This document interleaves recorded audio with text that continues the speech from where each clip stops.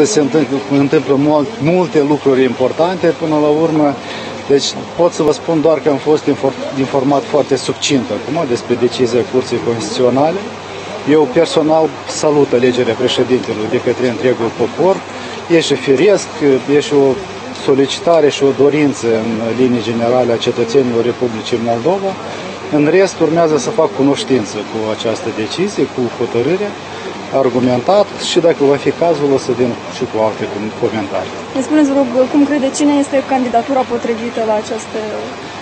Îmi puneți o întrebare la care nu vă pot răspunde și cred că nici nu e bine să vin acum cu careva declarație în acest uh, sens. Cât ține de hotărâre, vă spun, o să fac cunoștință, după care, dacă va fi cazul, o să vin și cu comentarii. Deci, în, în Mulțumesc. acest context urmează să fie